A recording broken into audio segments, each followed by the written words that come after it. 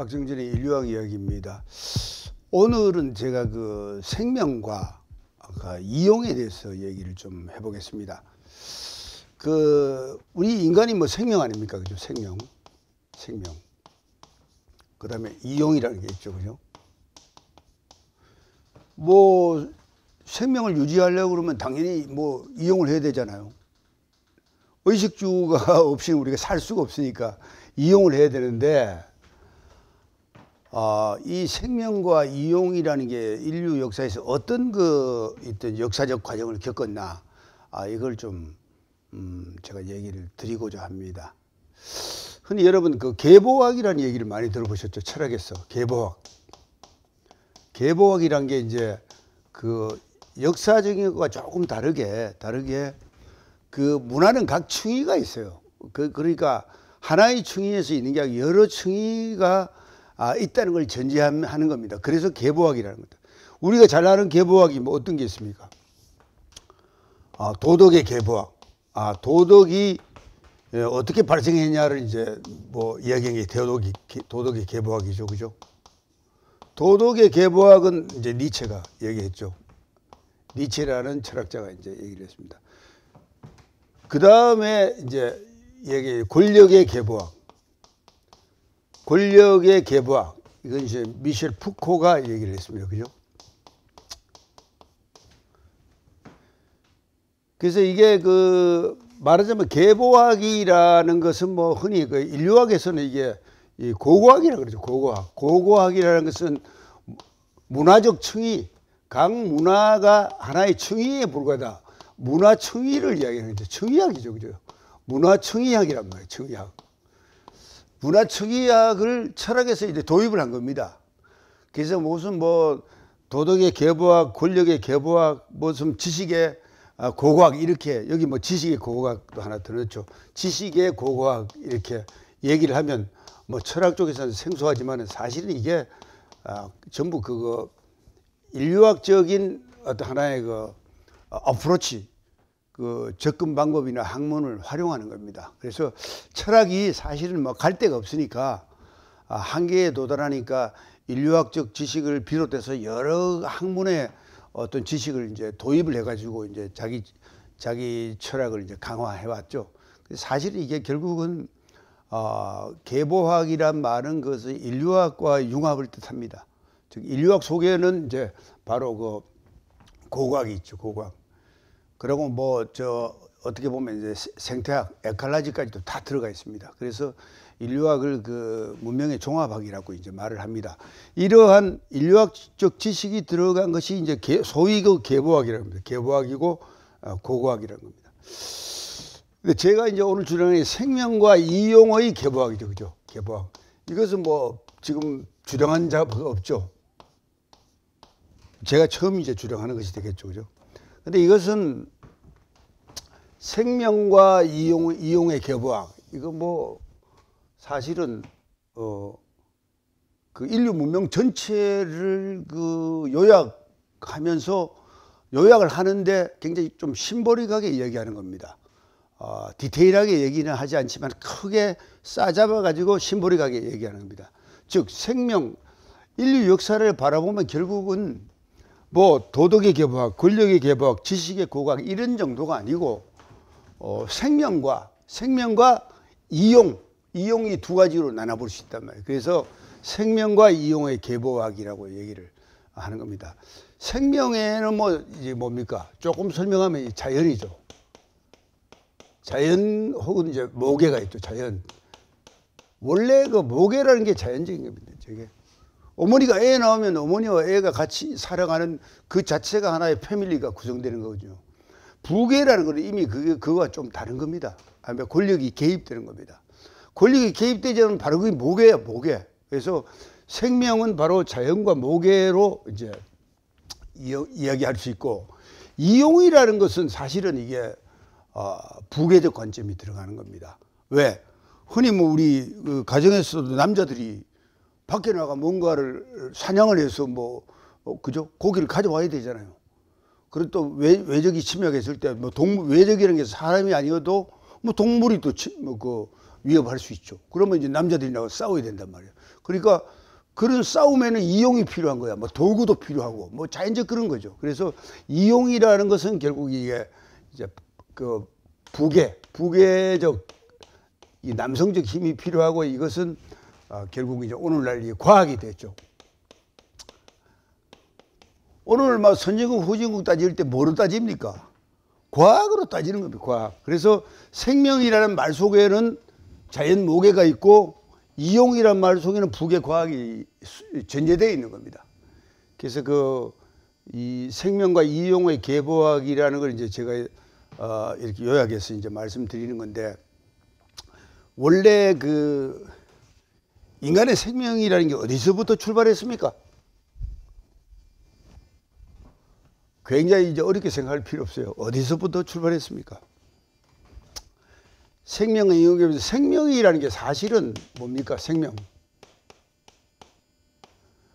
우리가 단어로 말하면 알이에요. 알, 알. 우리 알을 낳다. 알이라는 게 바로 생명이란 말이에요. 생명인데 이 알의 알이라는 것에서 알이라는 생명에서 생명을 유지하려고 하려고 하다 보니까 알다가 나온 거야. 이게 지식이란 말이야. 지식. 지식이죠. 이 지식이 오늘날 과학이 되는 겁니다. 알이라는 생명에서 그것을 알려고 하다 보니까 알다, 알다, 알미죠. 이게 결국 알다가 명사화된 게 알미잖아요. 지식이잖아요. 그래서 생명은 불가피하게 생명을 유지하기 위해서 알이 필요했던 거예요. 지식이 필요했던 거죠. 그래서 알, 알에 대해서 알을 생명을 유지하려고 하다 보니까 아, 무엇을 알아야 돼. 그래서 알미 된 거야, 알미. 그래서 이 알이 알다가 되는 거야. 이게 이제 바로 이제 알이죠, 알. 알란자죠, 알란자. 이용이죠. 알이, 이게 알다야. 이게 지식이라면 지식. 그래서 생명과 이용의 개부학은 결국 알이라는 생명에서 어, 이 생명을 유지하기 위해서 알다라는 걸 어, 만들어내는 그 과정이라 볼 수 있어요. 과정이라. 그래서 흔히 알은 그 시라고 얘기를 하더라고요. 알, 알이 그냥 어, 알은 시라고 말을 하기도 해요. 시. 이게 같은 말인데 사실은 이게 전부 다 이게 여, 성 여성과 관련된 겁니다. 시. 오늘날 뭐 성씨 그러면 뭐 박씨, 김씨, 이씨 하면 여성 쪽이 아니고 가부장 사회가 돼 남성 쪽의 성을 따지잖아요. 사실은 이 성씨의 출발을 따져보면 여성입니다. 우리가 성씨 할 때 성자도 한문으로 보면 여자에서 태어남이죠. 그게 성자죠. 그죠? 시도 사실은 시라는 발음이 요즘은 뭐 흔히 어, 남자를 비유할 때 시라 하잖아요. 여자를 비유할 때 밭이라는데 사실은 시가 여자야. 여자에 의해서 시가 발생한 거예요, 사실은. 그게 남자가 이제 어, 남자가 자기 것으로 이제 만드는 게 그게 가부장 사회입니다. 그래서 알이든 시든 전부 다 이게 이제 여성에서 출발하는 거예요.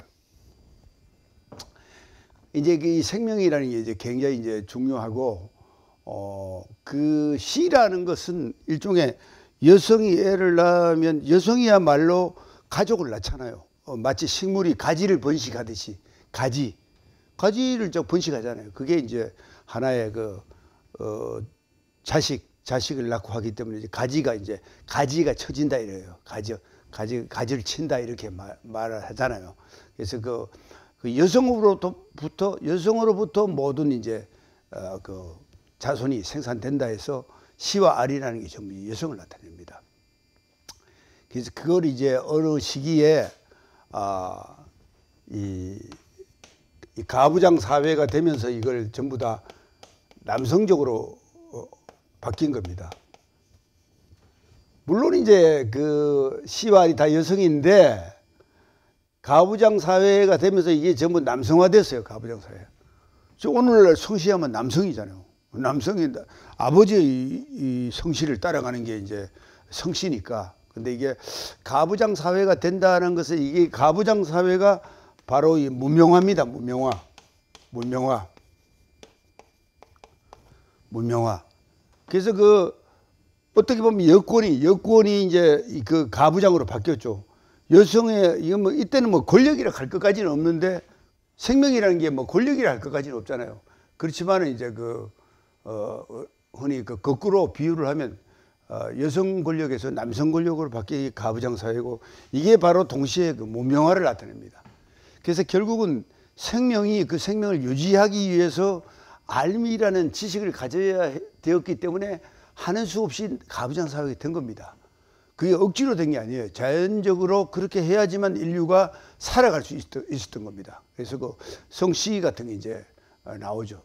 그래서 그 시라는 게그 요즘에 보면 시라는 게 이게 이제 남성적인 걸 나타내는데 사실은 시가 이용인 거예요. 이게 시가 시가 이용을 이용이라는 게 이제 이롭게 쓴다는 뜻이죠. 시 쓰다 쓰다라는 게 이제 이용도 되고 뭐 쓰다 라이트도 되죠. 쓰다 이용하다 유징 이렇게 되죠. 그게 전부 쓰다 발음이에요. 시에서 쓰다는 게 쓰다라는 게 나오는 겁니다. 아, 쓰, 쓰, 쓰 고 글로 쓰고 어, 사물을 이용해야 써야 우리가 뭐 쓰다 하잖아요. 어, 글로 쓰고 사물을 이용해야 이용하는 게 바로 그게 문화입니다. 문화. 그래서 그러한 그것을 통해서 이제 문명이 이루어졌죠. 그 뭐 쓰기 위해서 쓰다 쓰기 라이트 하기 위해서는 이게 문자가 필요하죠. 문자. 문자 필요하잖아요. 그다음에 사용하기 위해서는 이제 기술이 필요하잖아요. 기술. 기술 필요해요. 그러니까 문자의 사용과 아 기술은 뭐 그 삶을 영위하기 위해서 불가피했던 불가피했던 거죠.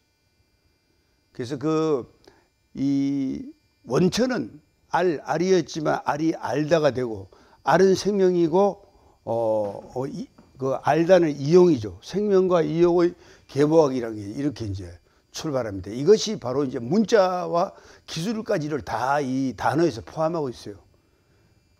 그래서 알과 알다라는 게 사실은 이게 엄청난 말이죠. 인간이 어떻게 사는가 했을 때 알과 알다 두 개만 말하면 되는 거예요. 생명과 이용이다 이렇게 될 수 있죠. 그렇게 이제 그 복잡한 인류 문화를 요약할 수 있습니다. 그래서 자연스럽게 알기 위해서는 문자가 필요하고 기록을 기술을 해야 되고 라이팅하고 유징하고 하보면 문자가 필요하고 기술이 필요해서 이제 오늘날에 이르는 겁니다. 근데 이제 여기서 이제 중요한 게 뭐냐 하면 그 이 아까 문자를 얘기해 문자라는 게 뭐 흔히 언어 아닙니까? 그죠? 언어. 문자 언어인데 그 문자라는 것은 이제 음성 언어에도 음성 언어가 있죠 음성 말로 말로 하는 거 그럼 문자로 기록을 해야 이게 과학이 되는 겁니다 유지가 되고 전해줄 수 있고 그래서 어, 과학이 쌓이고 문명이 쌓이고 해서 발전하는 겁니다 근데 음성으로는 안 되는 거야 그래서 결국은 문자 언어의 발생이 굉장히 이제 중요한 겁니다. 그래서 이게, 바로 이제 언어 이게 이제 과학이 되는 거죠. 과학이 되는 거죠. 사실은 우리가 흔히 과학이라 그러면 아 과학은 자연이 과학적으로 있는 것이다 이렇게 생각하기 쉽잖아요. 자연이 과학적으로 있지 않아요. 자연은 자연 자연으로 있는 거야. 단지 그걸 인간이 이용하려고 하니까 과학이 되는 거야. 즉 말하자면 문자 언어 과학이라는 것이 그 이것의 연속이라는 게 바로 오늘날 그 인류의 그 고도의 문명을 만들어낸 겁니다. 그래서 이 여기서 이제 예술이라는 게 또 있는데 그 이때의 언어는 이제 그와 예술이 좀 다르죠. 같은 문자를 쓰는데 문자입니다. 같은 문자를 쓰는데 언어라는 게 이제 두 가지로 나눠져요. 여기 언어인데 그 이게 이제 예술이라 봅시다. 예술 예술을 보면 예술도 뭐 문자나 기호를 다 쓰잖아요. 쓰는데 이 언어는 그 과학으로 가는 언어는 이제 그 말하자면 이제 환유적 언어입니다. 환유적 언어고 환유적 언어고 그 예술로 가는 언어는 이제 그 어, 은유적 언어입니다. 은유적 언어. 은유적. 환유고 은유적. 그 언어를 사용하는데도 사실은 뭐 크게 보면 두 가지가 있죠. 그래서 환유적으로 사용하니까 과학이 나오고 은유적으로 사용하니까 이제 예술이 나오고 환유는 이건 이제 결국 이제 기표를 중시하는 건데 그 기표를 중시하더라도 환유적 기표죠. 이것도 은유도 뭐 결국 이제 기표인데 그 은유적 기표죠. 그러니까 그 기표에는 은유적 기표와 환유적 기표 동시에 있다고 볼 수 있어요. 이 두 가지를 자유자재로 사용하기 때문에 그 오늘날 그 과학과 아, 시와 과학이 있는 겁니다. 예술과 시 예술과 아, 자연과학이 있죠.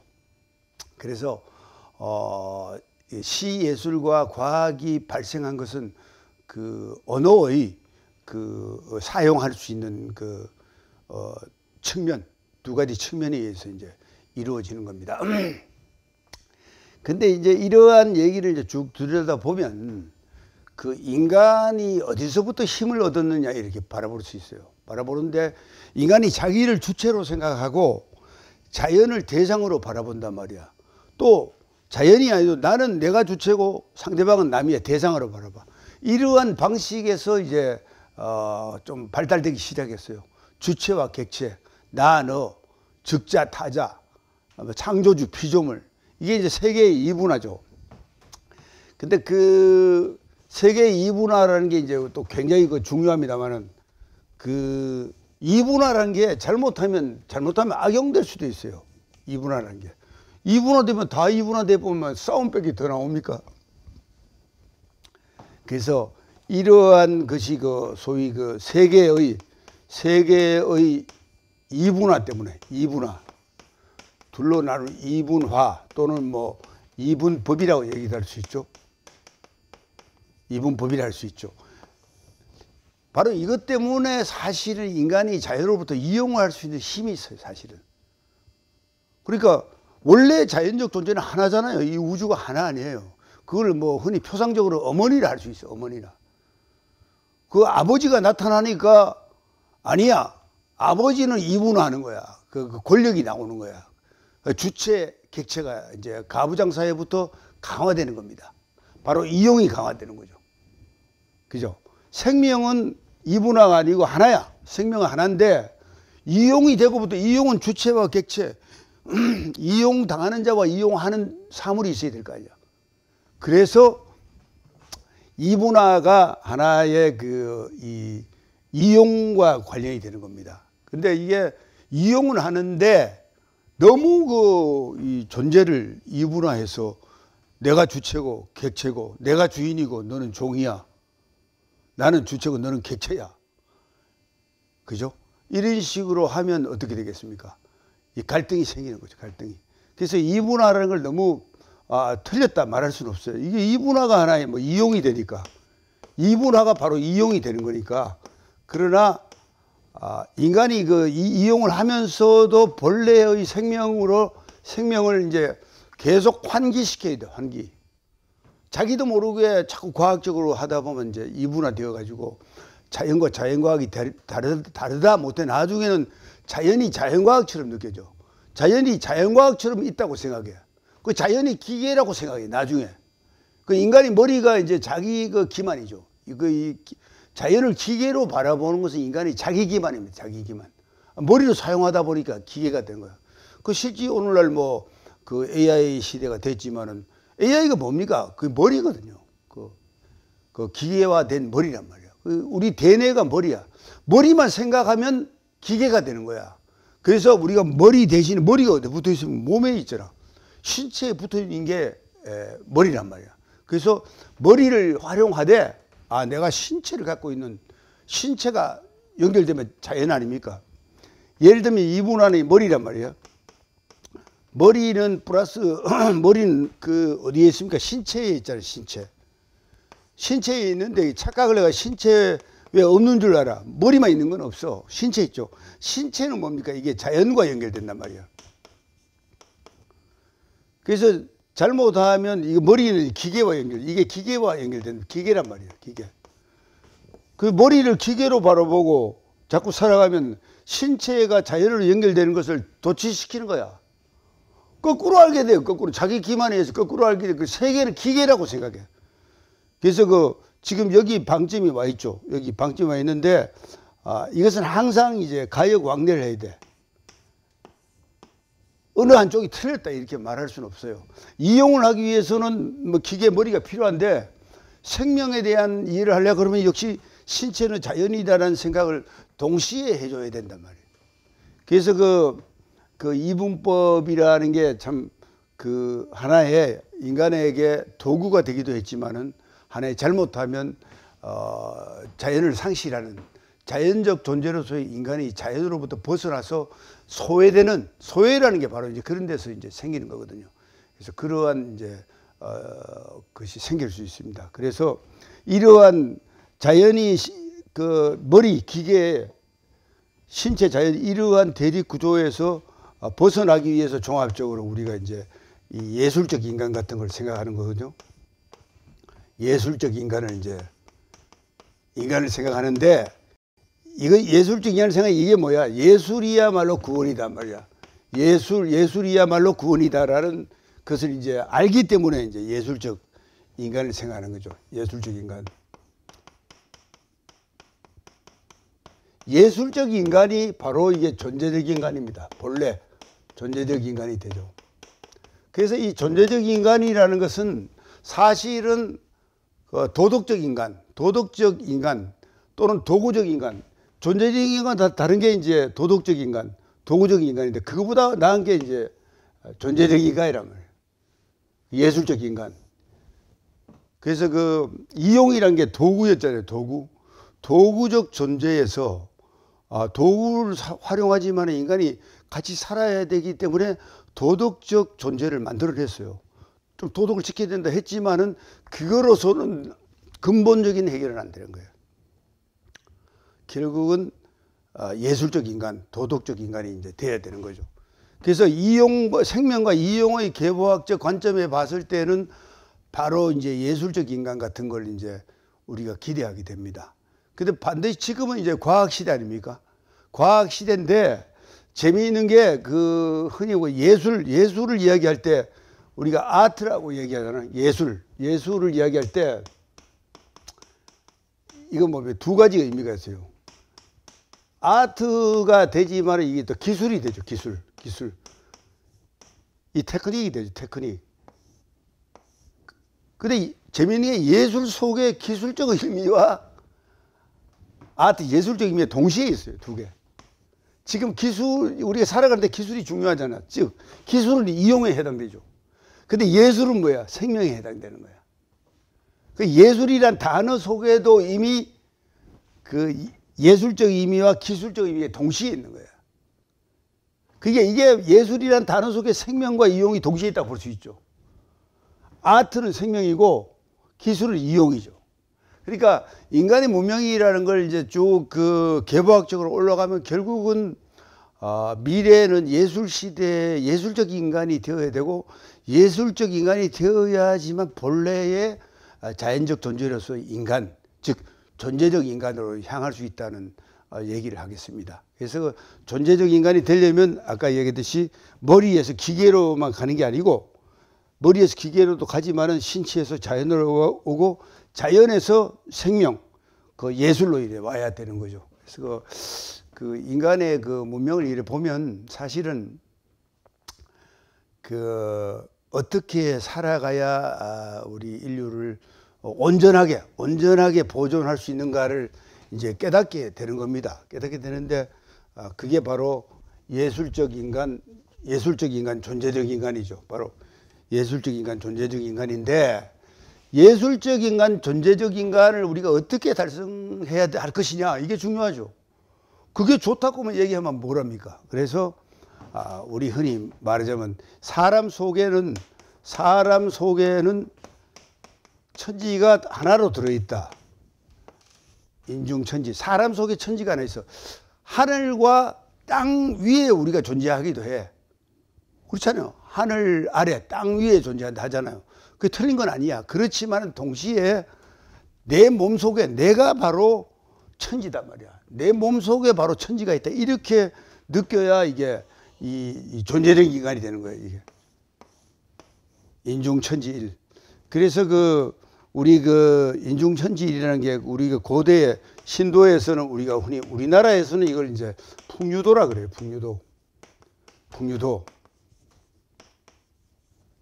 그래서 어떻게 보면 우리나라의 고대의 사상이 아, 그동안에는 뭐 빛을 못 볼 수도 있었는데 실제로 그 미래에 아, 어떤 세계 문화를 주도할 수 있는 하나의 이게 씨앗이 있는 거야. 아, 우리 문화에 씨앗이 있어.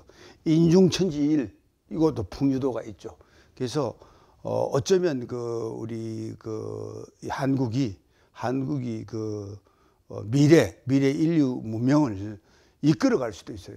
그러니까 어, 방향 제시도 할 수 있고 이렇게 이제 어, 한 시대에 들어왔습니다. 그래서 오늘 그 강의가 생명과 이용화의 개보학인데 이것이 어떻게 우리 문화와 연결되는가를 이제 말씀드렸습니다. 그래서 어떤 면에서는 우리가 나라는 작지만은 그 문명적으로 아, 인류를 구할 수 있는 그 예술적 존재로서 예술적 존재, 예술적 인간, 존재적 인간으로 가는 하나의 노하우, 노하우를 갖고 있다고 볼 수 있죠. 이게 아, 미래의 희망이 될 수 있어요. 인중천지 일이고 풍요도라는 게. 그래서 그 오늘은 그 어, 생명과 이용의 개보학을 통해서 인류 문명에 대한 이제 큰 그 하나의 조망을 하면서 그것이 어떻게 그 한국의 문화와 연결되어서 어, 한국이 한국 사람이 예, 갖고 있는 고대의 사상이라 할 수 있는 천부경의 인중천지 일이란 것과 우리가 잘 아는 풍요도라는 게 만나가지고 이게 예술적 인간, 존재적 인간으로 어, 나아가는데 큰 지침이 되고 어, 가르침이 될 수 있다는 걸 말씀드렸습니다. 그렇게 봤을 때 인류 문명을 이렇게 요약할 수 있는 힘, 그 자체가 아, 오늘의 그 어, 한국 철학, 자생 철학의 탄생이라고 말할 수 있겠습니다. 오늘은 그 인류 문화를 이제 생명과 이용의 관점에서 개보학적으로 말씀드렸습니다. 감사합니다.